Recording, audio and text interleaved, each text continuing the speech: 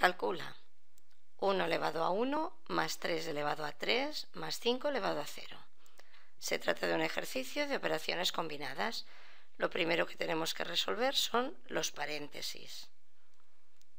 Seguido de las potencias y las raíces. Después las multiplicaciones y las divisiones, siempre de izquierda a derecha. Y finalmente las sumas y las restas también de izquierda a derecha. En este caso no tenemos ningún paréntesis. Por lo tanto, pasaremos a resolver las potencias. 1 elevado a 1 es el mismo, por lo tanto, 1.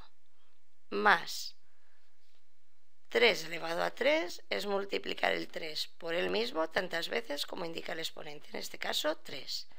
3 por 3, 9, por 3, 27. Por lo tanto, 3 elevado a 3 o 3 elevado al cubo da 27. Y finalmente, 5 elevado a 0. Cualquier número elevado a 0 siempre da 1. Por lo tanto, tenemos 1 más 27 más 1 que nos da un total de 29.